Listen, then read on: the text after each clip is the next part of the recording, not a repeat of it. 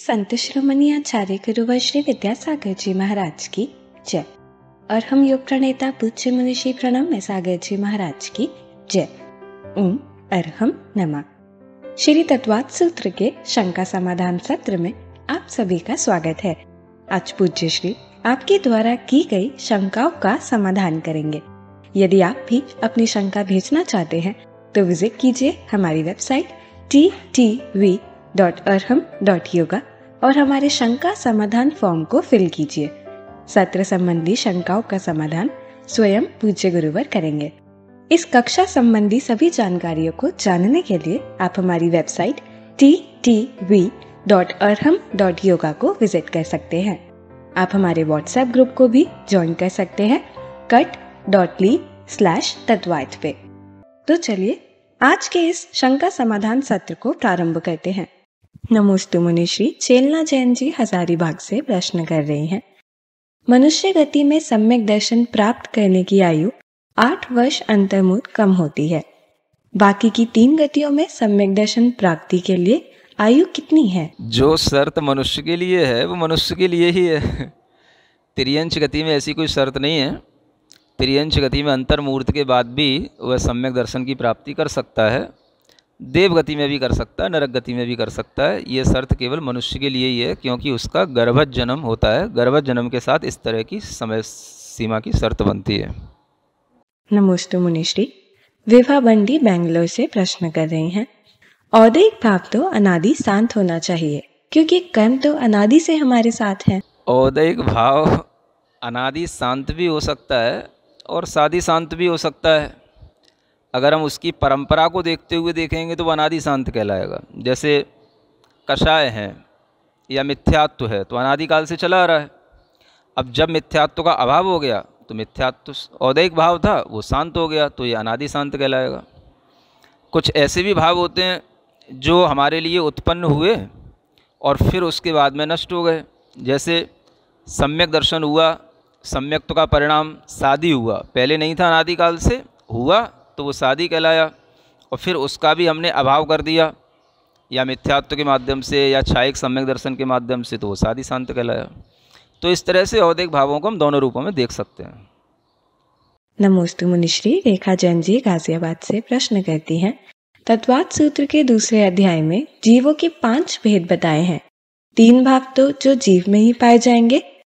और एक भाव कर्म के सापेक्ष होते हैं क्या? क्या ये भाव पुद्गल का भी होता है? जीव के बाह्य निमित्त पाकर पुद्गल भी विभाव रूप हो जाता है क्या? कृपया समाधान कीजिए। ठीक है ठीक है। आपका प्रश्न ये है कि ये भाव क्या पुद्गलों को भी होते हैं? एक ज्ञानार्णव ग्रंथराज है, उसमें इन भावों की सिद्धि पुद्गलों में भी की है है ना? क्योंकि वहाँ पर जो है, पुद्गलों में इन भावों की सिद्धि इसलिए हो जाती है कि ये भाव अपनी परिभाषा के अनुसार उदय को प्राप्त होना तो औदयिक भाव। है ना? अब ज़रूरी नहीं कि कर्म का ही उदय हो। अपने स्पर्श रस गंध वर्ण आदि जो हैं वो पुद्गल के जिस तरह से परिणमन करते हैं और जैसे जैसे उनकी पर्यायों का उदय हो जाता है वो उनका औदयिक भाव कहलाता है। इस तरह से इन भावों की सिद्धि कुछ भावों की सिद्धि पुद्गलों में भी हो जाती है। नमस्ते महाराज जी अंजू काला जी जालना से प्रश्न कर रही हैं छदमस्त का अर्थ क्या होता है? छदमस्त का मतलब होता है जो छद्म में स्थित हो। और छद्म कहा जाता है आवरण को। जब तक आत्मा छद्म यानी आवरण में स्थित है, तब तक उसे छदमस्त कहते हैं। जब आवरण की बात आती है तो आठ कर्मों में ज्ञानावरण और दर्शनावरण इन दो कर्मों को आवरणीय कर्मों के साथ जोड़ा गया। है यानी जब तक आत्मा के ऊपर ज्ञानावरण और दर्शनावरण कर्मों का आवरण रहेगा, तब तक वह जीव छदमस्त कहलाएगा। अब ये ज्ञानावरण, दर्शनावरण का जो आवरण है, ये कब तक रहता है? तो यह बारहवीं गुण स्थान तक रहता है। यानी जब केवल ज्ञान होता है तो इन आवरणों का नाश होता है। इन आवरणों के नाश होने पर ही केवल ज्ञान की प्राप्ति होती है। तो जब तक केवल ज्ञान की प्राप्ति ना हो जाए, उससे पूर्व तक जीव को छदमस्त कहा जाता है। यह इससे स्पष्ट होता है, सिद्ध होता है, इसी तरह से समझना चाहिए। नमस्ते महाराज जी। मनीषा सुनील कासलीवाल जी औरंगाबाद से प्रश्न करते हैं। नमस्ते गुरुदेव। सगर चक्रवर्ती की कथा में ऐसा लिखा है कि अभी काल लब्धि नहीं आई, इसीलिए वैराग्य नहीं हो रहा है। तो क्या काल लब्धि आने पर ही वैराग्य होता है? कथाओं में जो बड़े बड़े महापुरुष होते हैं, उनके लिए अगर कई बार कुछ जैसे प्रयास किया जा रहा है और प्रयास कराने के बावजूद भी उस जीव के लिए अभी वैसा कुछ नहीं हो पा रहा है तो फिर हम उस चीज़ को काल अवधि पर छोड़ देते हैं। सगर चक्रवर्ती की घटना में भी यही बात है कि उनके लिए प्रयास किया जा रहा था कि इनको वैराग्य हो जाए और वह पूर्व जन्म का जो देव था, वो मित्र था, वह उनका प्रयास, उनके लिए प्रयास कर रहा था।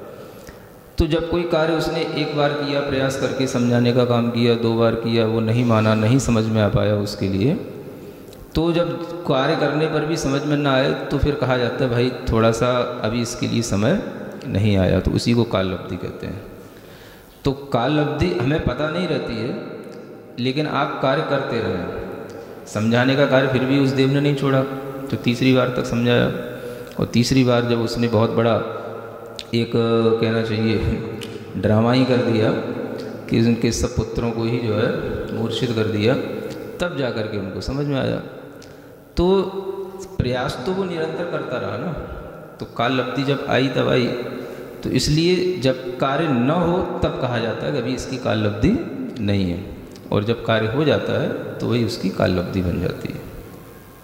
नमस्ते मुनिश्री, नीलिमा जैन जी मंदसौर से प्रश्न कर रहे हैं। प्रायोगिक लब्धि में कर्मों की स्थिति घटकर अंता कोड़ा कोड़ी सागर रह जाती है। तो करण लब्धि में सम्यक होने के बाद संसार अर्धपुद्गल परावर्तन काल क्यों रहता है? प्रायोगिक लब्धि में स्थिति घटकर के अनंत नहीं, अंत कोड़ा कोड़ी सागर रह जाती है। वह एक कोड़ा कोड़ी सागर के भीतर की स्थिति को अंत्य कोड़ा कोड़ी सागर कहते हैं। करण लब्धि में कोई स्थिति नहीं घट गई। करण लब्धि होने के बाद, सम्यक दर्शन होने के बाद उस जीव के लिए संसार में भ्रमण करने का जो काल है, वो अर्धपुद्गल परावर्तन रह जाता है, ऐसा समझना चाहिए। यानी वह जीव अगर संसार में अधिकतम रहेगा तो अर्धपुद्गल परावर्तन काल तक रहेगा। तो वह अर्धपुद्गल परावर्तन काल किसी कर्म की स्थिति नहीं है, वह उस जीव की, उस संसार दशा में रहने की स्थिति है, ऐसा जानना। नमस्ते मुनिश्री, राजेंद्र कुमार जैन महाराष्ट्र से प्रश्न करते हैं। आपने बताया कि क्षयोपम भाव में सर्वघाती कर्म स्पर्धकों का तो उदयाभावी क्षय होता है और देशघाती कर्म स्पर्धकों का उदय रहता है। जब देशघाती स्पर्धकों का उदय रहता है तो उपशम संबोधन क्यों है? देशघाती कर्मों का उदय होना भी क्षयोपम दशा कहलाती है। क्षयोपम में और उपसम में यही एक अंतर है कि उपसम में तो सभी कर्मों का उपशमन होगा। जो उस गुण के विरोधी कर्म होंगे, उन सबका उपशमन माने दबना होगा। लेकिन क्षयोपम में एक कोई सपोर्टिव कर्म होगा जिसका उदय हो सकता है, वह देशघाती कर्म का उदय होता है। जैसे कि उपशम सम्यक दर्शन हुआ तो उपशम सम्यक दर्शन में मिथ्यात्व, सम्यक मिथ्यात्व, सम्यक प्रकृति और अनंतानुबंधी की चारों का साइंस सबका क्या होना चाहिए? उपसम होना चाहिए, ये सभी दबी हुई रहेंगी। और क्षयोपम सम्यक दर्शन में क्या हो गया? इन सातों कर्मों में सभी कर्म दबे हुए हैं, केवल एक सम्यक प्रकृति का उदय आ गया। तो इन सातों कर्मों में एक सम्यक प्रकृति ही देशघाती है, बाकी सब क्या है? सर्वघाती तो देशघाती कर्म के उदय में वह सम्यक दर्शन को घात नहीं पहुँचता और वह सम्यक दर्शन बना रहता है। इसलिए उसको जो है क्षयोपम कहा जाएगा। यानी वहाँ पर जो है कर्म का उदय भी है और उदयाभावी क्षय रूप, उदयाभावी क्षय किसका? तो जो और दूसरे सर्वघाती कर्म है, उनका उदयाभावी क्षय, उन्हीं का सदवस्था रूप उपसम और एक सम्यक प्रकृति का उदय जिसके कारण से वह सम्यक तो भी लंबे समय तक बना रह सकता है। तो उसमें सम्यक प्रकृति का उदय हो गया, बाकी के छह कर्मों का उपशमन है। इसलिए उसका नाम क्षयोपम दशा है। तो उस क्षयोपम दशा में सभी कर्मों का उपशमन नहीं है पूर्णतया। उपशम में सभी कर्मों का पूर्णतया उपशमन होगा ऐसा अंतर जानना नमोस्तु मुनिश्री। कुशल जैन बुराहनपुर से प्रश्न करते हैं छायक सम्यक्त्व किसको होता है कब और कैसे? छायक सम्यक्त्व कब होता है किसको होता है कैसे होता है इसके लिए तो आपको इतना ही समझना है। कि पहले क्षयोपम सम्यक दर्शन कर लेना है। और जब क्षयोपम सम्यक दर्शन की विशुद्धि बढ़ती जाती है तो क्षायक सम्यक दर्शन के लिए केवली, श्रुत केवली का सानिध्य, उनका चरण मूल पाद मूल आवश्यक होता है। तो जब अपने को उपसम सम्यक दर्शन बना रहेगा, केवली, श्रुत केवली का सानिध्य मिलेगा, और फिर उनके चरणों में बैठ कर के भी, फिर भगवान की जिन भक्ति आदि के माध्यम से और विशुद्धि बढ़ाई जाती है तो वही छायक सम्यक दर्शन में परिवर्तित हो जाता है। तो प्रयास हम क्षयोपम सम्यक दर्शन को बनाए रखने का करें। छायक सम्यक दर्शन अपने आप बन जाएगा अगर हमारा क्षयोपम सम्यक दर्शन निरंतर बना रहेगा तो। नमोस्तु मुनिश्री। प्रेमलता जैन जी नोएडा से प्रश्न करती हैं कर्मों के उदयाभावी छह और कर्मों के उपशमन में क्या अंतर है? कर्मों का उदयाभावी छह और कर्मों का उपशमन इन दोनों में ये अंतर है कि जैसे टंकी का उदाहरण दिया था, नल के पानी का तो नल में, माने नल की टोंटी में से जो पानी आ रहा है, उस पानी को हमने जिस समय पर वह पानी आना है है ना, वहीं पर हमने उसकी टोंटी पर एक कोई मान लो कोई दूसरे लाल रंग का कपड़ा लगा दिया। तो क्या हो गया? जो पानी आ रहा था, उसको हमने बिल्कुल लास्ट पॉइंट पर उसको एकदम से डाइवर्ट कर दिया, यूँ कहने का मतलब है ना? तो यही कहलाता है उदयाभावी छः माने वो पानी अब सफ़ेद का ना होकर के कैसा निकलेगा? लाल रंग का। इस तरीके का हमने कोई मालूम सिस्टम कर दिया तो ये कहलाएगा उदयाभावी छः उदय हो रहा था, उसी टाइम पर हमने उसका दूसरी तरह से क्षय कर दिया। तो ये क्या कहलाया? उदयाभावी छः एक तरह से हमने उसको किसी दूसरे कर्म में संक्रमित कर दिया। ये उदयभावी छः हो गया। उपशम में क्या है कि जो कर्म आपके लिए उदय में आना है, उसको हमने अभी टंकी में ही दबा करके रखा है, बिठा करके रखा है। माने हम टंकी के बेस में इतना फोर्स नहीं दे रहे हैं कि वो सारा का सारा पानी एक साथ जो है बाहर निकले। तो वो जो फोर्स नहीं आ रहा है, वो जो हमने व्यवस्था कर रखी, उसका नाम है उपशमन। है ना? माने उस नल की टोंटी में जो पानी का फोर्स नहीं आ रहा है, फिर भी पानी आ रहा है ड्रॉप ड्रॉप करके आ रहा है। तो जो फोर्स नहीं आना ये उपशमन है और जो ड्रॉप ड्रॉप करके आ रहा है उसको लास्ट मोमेंट पे उसको है ना कन्वर्ट कर देना ये उसका उदयाभावी छः है। इस तरह से जान लेना। सदवस्था रूप उपशमन? उसी को सदवस्था रूप उपशम कहते हैं। सत माने सत रूप अस्तित्व है उसका और सत रूप अवस्था में उसका उपशमन कर दिया। माने वो है तो है टंकी के अंदर। पानी टंकी के अंदर है तो है लेकिन उसको हमने अभी रोक करके तीन चीज़ें या दो ही चीज़ें उपशमन और सदवस्था रूप उपशमन सेम चीज़ है डिफरेंट है? सदवस्था रूप उपशमन तो उपशमन की प्रोसेस का एक पार्ट है। और उपशमन में तो ये हो जाएगा कि फिर कोई भी चीज़ का कुछ भी तरह से उदय नहीं होगा, वो सारा का सारा उसमें उपशमन हो जाएगा। तो उपशमन की प्रोसेस में सारी चीज़ें उपशमित हो जाएँगी। क्षयोपशम में सदवस्था रूप उपशम भी चलेगा उदयवादी क्षय भी चलेगा। मतलब क्षयोपशम में ऐसा होगा कि जो कर्म है हमारे पास वो या तो दबे रहेंगे उपशमन के भाव से या फिर जो निकलेंगे वो ट्रांस नहीं या नहीं दोनों साथ एक साथ होंगे। तो कुछ कर्म कन्वर्ट होकर हाँ क्षयोपशम में दोनों चीज़ें एक साथ होंगी। सदवस्था रूप उपशम भी होगा और उदयाभावी क्षय भी होगा। दोनों चीज़ एक साथ चलेंगे। दबे भी रहेंगे और कुछ हाँ हाँ दोनों चीज़ एक साथ होंगी। नमोस्तु मुनिश्री मुकेश जैन जी अशोकनगर से प्रश्न करते हैं। क्या वर्तमान काल में भी पहले उपशम सम्यक दर्शन होगा फिर क्षयोपशम सम्यक दर्शन होगा? हाँ बार वर्तमान में पंचम काल में या कोई भी काल कहें जब भी सम्यक दर्शन होगा तो पहले उपशम सम्यक दर्शन ही होगा उसके बाद में ही वो उपशम सम्यक दर्शन होगा। उसमें काल की कोई कंडीशन नहीं है। हाँ फिर भी अगर अपन ये समझना चाहते हैं कि इस काल में भी कैसे होगा तो होगा ऐसे ही होगा पहले उपशमन होगा फिर उपशम होगा। नमोस्तु मुनिश्री पूजा जैन जी अरौन से प्रश्न करती हैं। क्या सभी क्षयोपम सम्यक दृष्टि को चल मल अगार दोष लगते हैं? चल मल अगार दोष सम्यक प्रकृति के ऊपर निर्भर करते हैं। अब कोई भी कर्म प्रकृति है तो उसकी जो अपनी फल देने की अनुभाग शक्ति होती है, वो बहुत रूपों में होती है। असंख्यात उसके भेद हो सकते हैं। तो कुछ ऐसे भी शिवपम सम्यक दर्शन में सम्यक प्रकृति के उदय हो सकते हैं कि उनकी अनुभाग शक्ति उस तरह के फल न दे कि उसमें कोई चलमल अगाड़ दोष लग पाए। लेकिन अगर लगते भी हैं तो बहुत मामूली से लगते हैं। जो देखने में आते हैं, वो तो कहे जा सकेंगे कि ये चलमल अगाड़ दोष हो गया, कुछ देखने में नहीं आते हैं। तो मामूली भी हो सकते हैं तो वो डिपेंड करता है उस कर्म की अनुभाग शक्ति के ऊपर, जिसके कारण से उस कर्म का हमें फल भोगने में आता है। नमोस्तु मुनिश्री, हंस कुमार जैन जी ग्रेटर नोएडा वेस्ट से प्रश्न करते हैं। कक्षा 11 में आपने बताया कि पंचम काल में जीवों का जन्म नियम से मिथ्यात्व के साथ ही होता है। मेरी जिज्ञासा है कि इस काल में पाए जाने वाले सम्यक दृष्टि जीव को प्रथमोपम इसी भव में हुआ है या होगा, अथवा पिछले भवों में हुआ हो सकता है।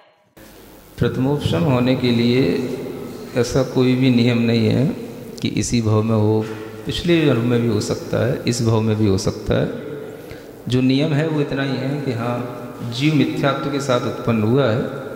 सादी मिथ्या दृष्टि भी हो सकता है और अनादि मिथ्या दृष्टि भी हो सकता है। किसी भी तरह की इसमें कोई बाधा नहीं है ऐसा समझना। नमोस्तु मुनिश्री अमित कुमार जैन जी दिल्ली से प्रश्न करते हैं। मेरी शंका है कि सम्यक प्रकृति और विशुद्धि में आपस में क्या संबंध है? विशुद्धि तो आत्मा का परिणमन हुआ सम्यक प्रकृति तो कर्म का उदय है। तो सम्यक तो प्रकृति अगर कहते हैं तो वो कर्म का उदय हुआ। उस कर्म के उदय में जो हमारी विशुद्धि है, वो उस कर्म के बिना जो मिथ्यात्वादि का उदय चल रहा था, उससे होने वाला जो संकलेश था, उसमें जो अंतर पड़ा, वही उसके लिए सहायक हो गया।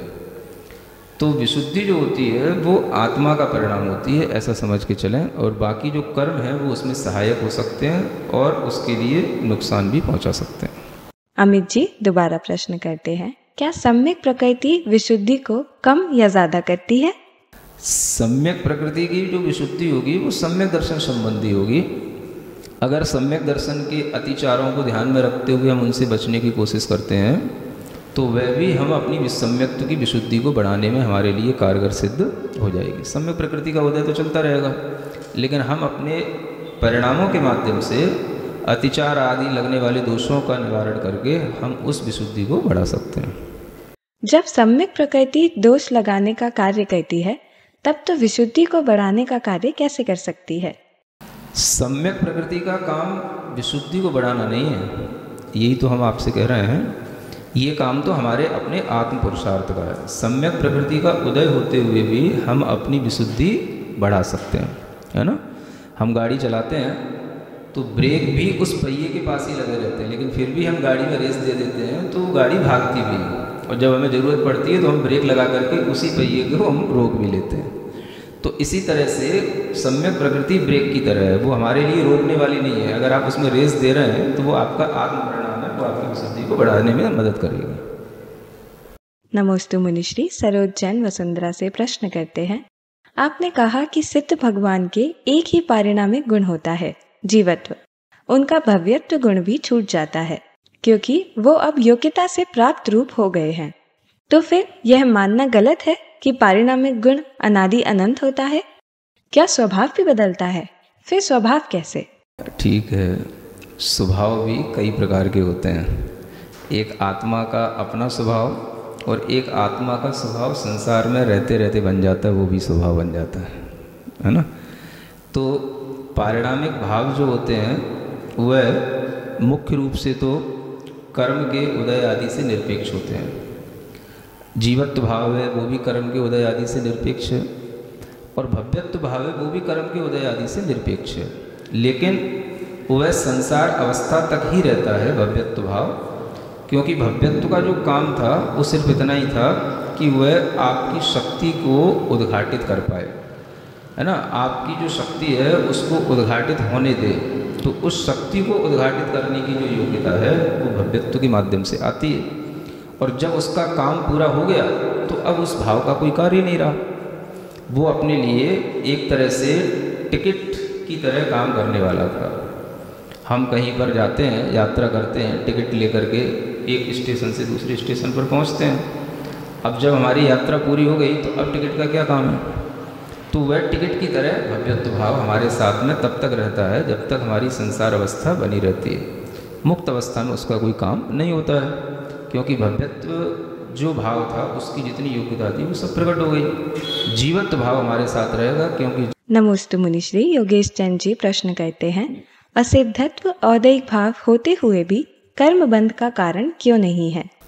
असिद्धत्व औदयिक भाव है। कर्मबंध के जो कारण हैं, वो तो कर्मबंध के जो प्रत्यय आपको पाँच बताए गए हैं, उन्हीं से कर्मबंध होगा। अब वो जो असिद्धत्व है, वो क्या है? एक तरह से यूँ कहना चाहिए, सिद्धत्व का अभाव। यानी जब तक सिद्धत्व की प्राप्ति नहीं हो रही है, तब तक वह असिद्धत्व का जो अनुभव हो रहा है, वो उस औदयिक भाव का कार्य है। तो कर्मबंध के जो कारण हैं, वो कारण तब तक चलते हैं, जब तक कि उसके प्रत्यय उसके साथ में रहते हैं। तो कर्मबंध तो तब तक चल ही रहा है, जैसे मिथ्यात्व से शुरू हुआ और योग जो है उसका अंतिम कारण है। तो योग जब तक रहेगा, तब तक कर्म बंद रहेगा। सहयोगी केवली अवस्था में योग रह रहा है तो तब तक भी कर्म का बंद हो रहा है।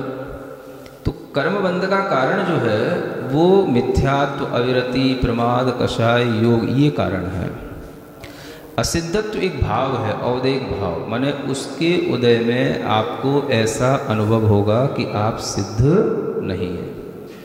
तो इसलिए असिद्धत्व भाव जो है वो औदयिक भाव के रूप में गिना गया। कर्मबंध का कारण नहीं है।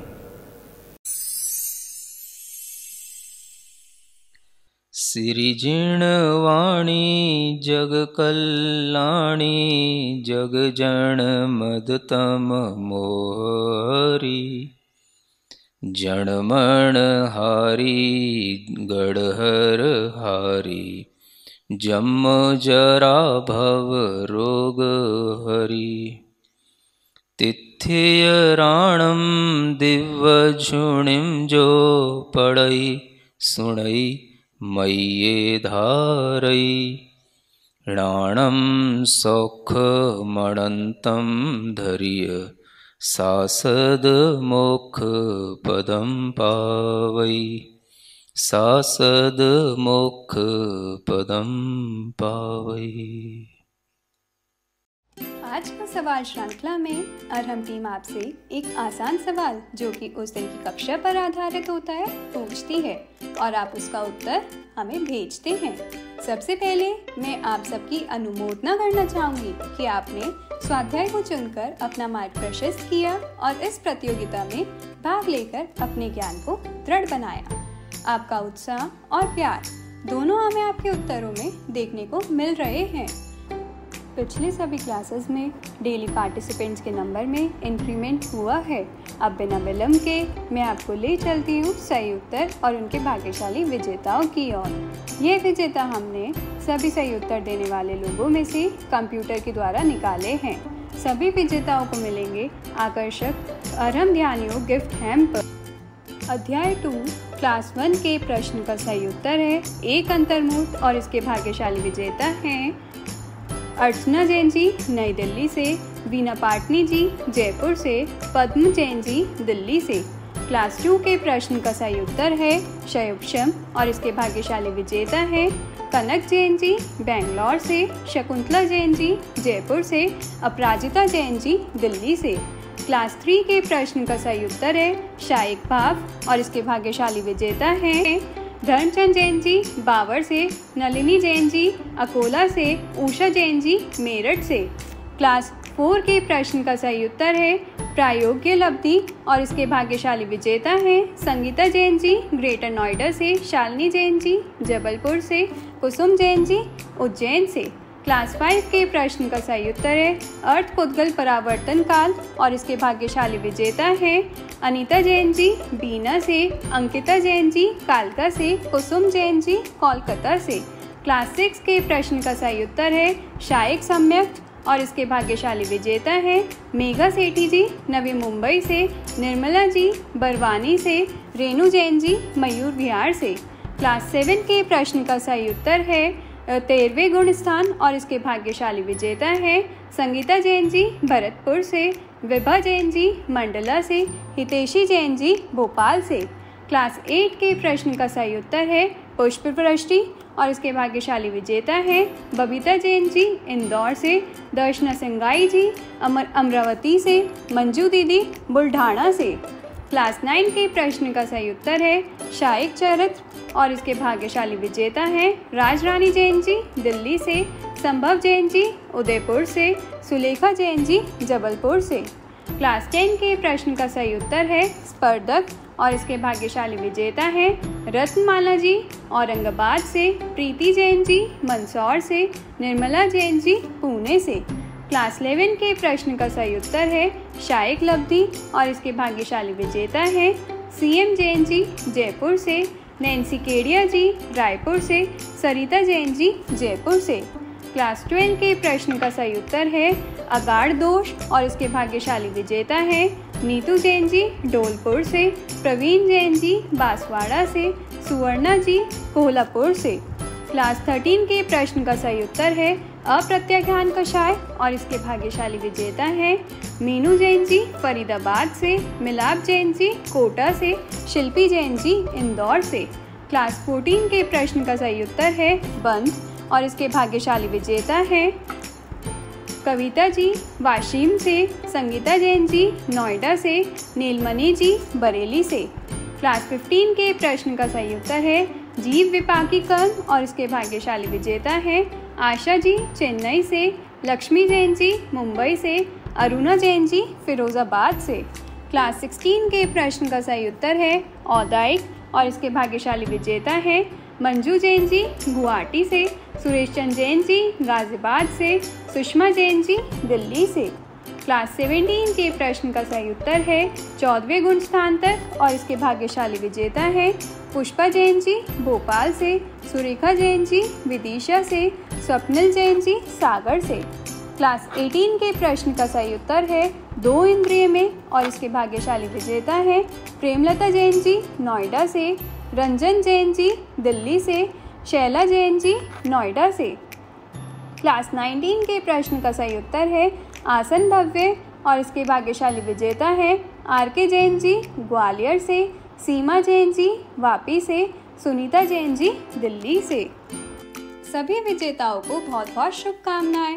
हम सभी पार्टिसिपेंट्स के मंगल भविष्य की कामना करते हैं और भावना करते हैं कि आप इसी तरह जिन मार्ग पर आगे बढ़ें।